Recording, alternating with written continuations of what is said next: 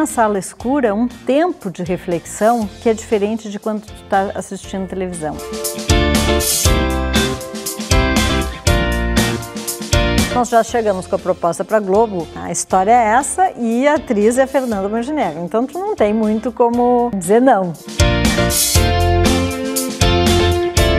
Eu acredito num cinema é, que questiona, que, que propõe reflexões, é, mas que não julga. Tenho formação em artes visuais. Me formei aqui no Instituto de Artes da URGS. Sou cineasta, uma das fundadoras da Casa de Cinema de Porto Alegre. Meu nome é Ana Luísa Azevedo.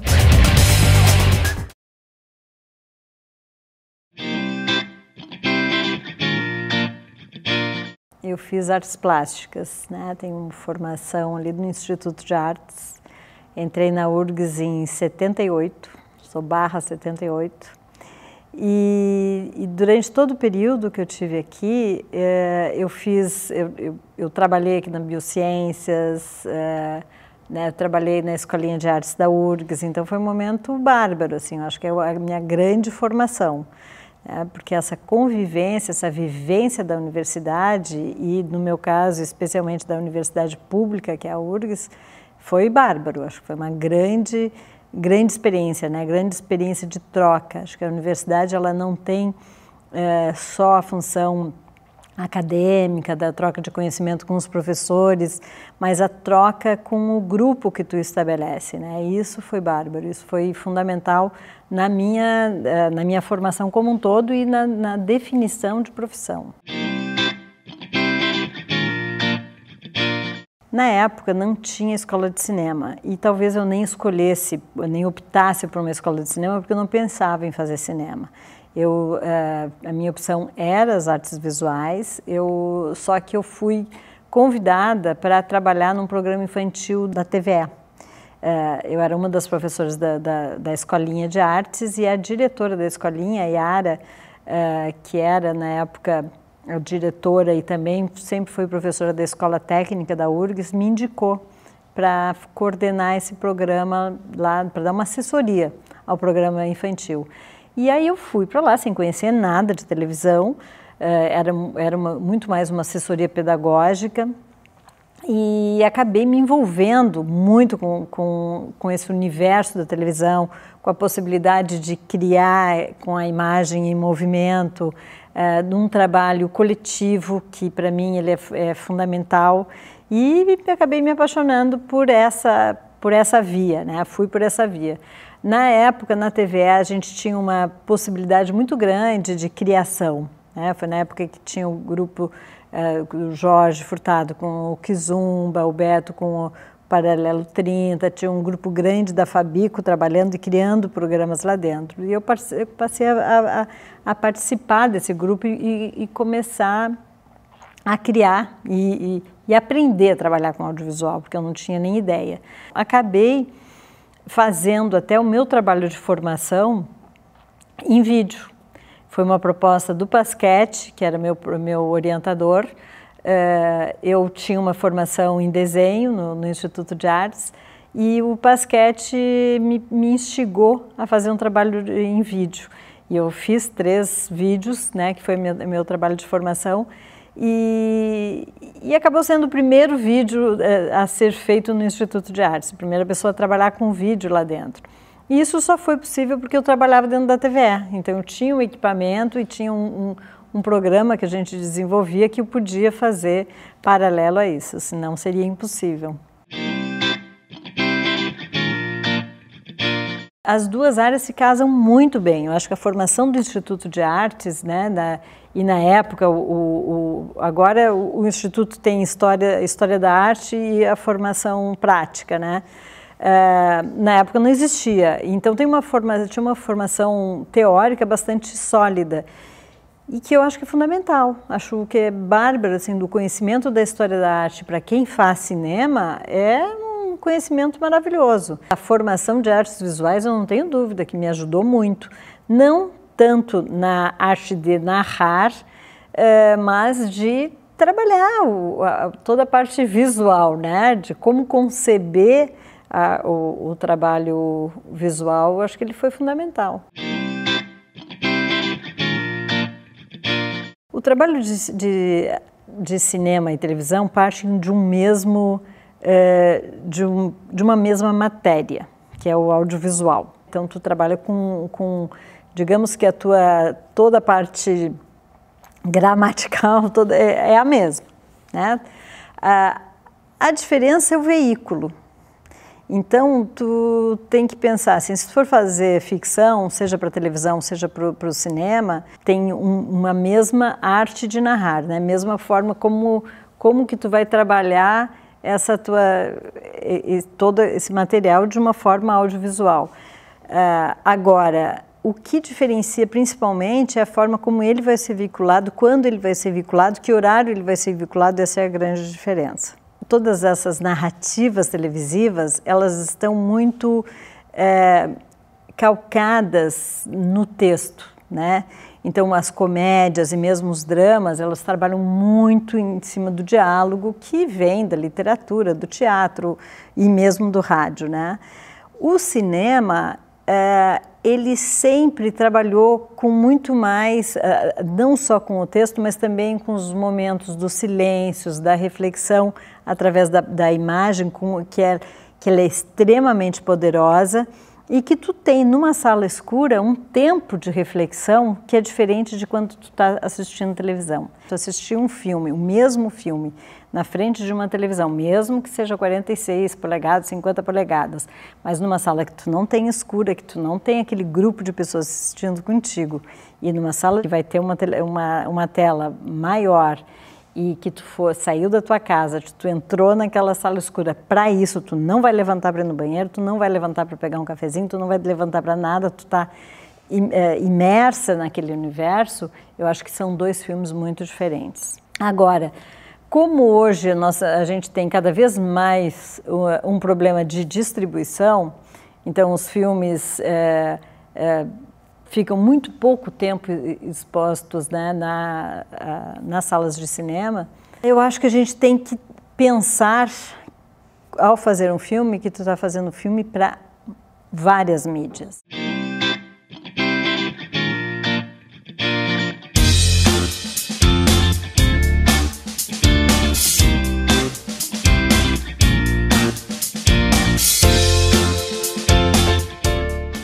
Inicialmente eu pensava num longa-metragem.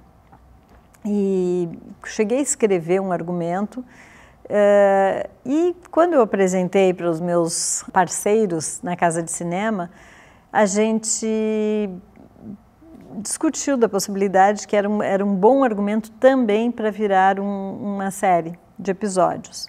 E surgiu a possibilidade de apresentar para a Globo. Apresentamos um, um, um argumento de série para Globo e eles nos contrapropuseram fazer um telefilme. Né? Era, já passava do meio do ano, eles nos contrapropuseram então que a gente fizesse um especial de final de ano. E que foi maravilhoso, porque nós fizemos um longa-metragem, é um telefilme de 70 minutos, uh, com uma veiculação na Globo no final de ano, com, com uh, quantos milhões de, de, espectadores. Desde o início, a gente, que eu criei o projeto, sempre pensei na Fernanda Montenegro.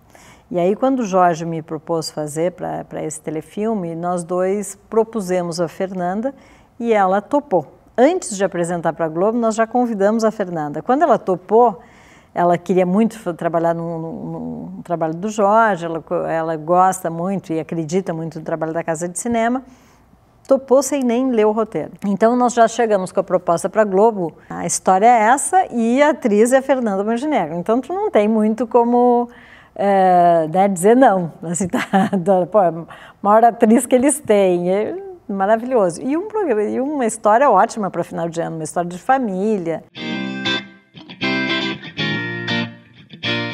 Qual foi a repercussão do prêmio, né? Eu, a, a, Fernanda ficou muito encantada. E ela dizia assim, tá, eu vou porque não tem como não ir, porque afinal de contas, né, como é que eu vou dizer que eu não, não vou estar tá lá? E ela já tinha ido pra, ao, ao Oscar, ela já tinha ido a outros, ela disse, ah, vai ser mais um que eu sou, eu sou uma. E ela percebeu que não, era uma coisa, era uma, uma distinção muito grande, e eram cinco atrizes, e é prêmio da indústria de televisão, e que estão lá todos os olheiros e todas as, o envolvimento e a, e a história toda do prêmio é muito grande, né? Então essa, essas premiações elas elas são engraçadas assim porque não tem a princípio nenhuma nenhuma importância desde que se o público uh, gostou se está lá a premiação não teoricamente não faz diferença nenhuma mas faz porque ganha espaço no jornal divulga então para gente o que enfim só nos deixa mais felizes. Um dia eu estava apaixonada, cheia de planos, e no outro eu estava sozinha, com um filho na barriga. Por que eu tenho que encarar um pai que não sabe nada de mim? Porque ele existe. O Antes que o Mundo Acabe é uma adaptação literária, né? um, um filme, um livro do Marcelo Carneiro da Cunha, que é um escritor gaúcho que escreve muito para esse público é, juvenil, tem muitos filmes, muitos livros, os livros já lidos e, e, e, trabalhados em escolas. Os meus filhos estudavam na Projeto, leram esse livro, o, e o Giba leu também, e me comentaram que achavam que seria um bom filme. Eu fui ler o livro e achei. Ele tinha um bom argumento e poderia ser trabalhado para o cinema. Ao mesmo tempo, era um livro é, que tem que os principais elementos narrativos dele eles não são nada cinematográfico, porque é um livro epistolar, onde é, um pai faz contato com o filho, manda cartas para o filho, o filho manda cartas para o pai, é uma troca de cartas e de fotografias. Então, são, são dois é, nada menos cinematográfico do que uma carta, né? Que alguém lê e o outro, ou alguém escreve e, e o outro lê. E, a, e, as trocas de fotografia também, que é, digamos que a origem do cinema, é a base do cinema, que é a fotografia, mas é a fotografia parada. É, mas isso era para mim um desafio, né? Como transformar esse livro é, em linguagem audiovisual. Então, é, eu acho que sempre quando eu conto qualquer filme, para mim ele tem que ter sempre um desafio, né? Seja ele é, na direção de ator, na, o que, que eu estou querendo aprender mais e saber e, e, e pesquisar mais. Nesse momento era é exatamente isso, assim, né? Como trabalhar com a linguagem audiovisual, de que forma contar uma história que não seja apenas uma novelinha, né, de que forma que eu poderia brincar com a linguagem audiovisual. E essa história se, se é, me possibilitava isso. Né? E aí eu acho que tem uma coisa que vem da minha formação de artes visuais que a gente estava falando antes, que foi de, de trabalhar a própria fotografia, animação, é, fazer essa, esses elementos fazerem parte da narrativa. A nossa opção foi eh, de um grupo de cineastas né, que começaram a fazer uh, cinema na década de 80 e que grande parte deles foi quem formou a Casa de Cinema, foi fazer cinema aqui. A gente não queria ir para Rio São Paulo, a concentração da produção audiovisual ela era principalmente Rio São Paulo. Uh, hoje a gente tem uma, uma possibilidade tecnológica muito maior, né, de estar aqui, tem tanto de equipamento de câmera, de tudo, uh, de finalização, como também de, de, de, troca, né? Tu trabalha, faz reunião de Skype, tu pode conseguir, uh, hoje eu escrevo roteiro com alguém que está no Rio ou São Paulo sem problema nenhum. Né? Escrevi com o Paulo Raume, o, o, o Antes que o Mundo Acabe, ele morando no Rio e eu morando aqui. Uh, antigamente isso era bem mais difícil. Cada coisa que tu escrevia que tu ia passar, já o fax já era uma revolução. Tu mandar por fax era aqueles papéis e, e quantidade de papel e que era e era muito caro. E por que que a gente queria ficar aqui? Primeiro porque a, a nossa raiz é, cultural está aqui. A gente não tinha vontade de morar em Rio São Paulo, então tentamos criar condições para trabalhar aqui, criar condições políticas, econômicas, né? Brigamos muito junto com a, a, criando entidades, junto com as entidades para criar as políticas públicas que viabilizassem isso.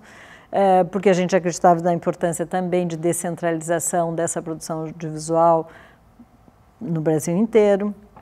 Então, isso era, era importante. E também porque é aquela coisa de, de tu estar tá trabalhando aqui, é, a tua própria concorrência é muito menor, né? Ir para São Paulo Rio, a gente seria a, a, apenas mais um em São Paulo Rio. E aqui não.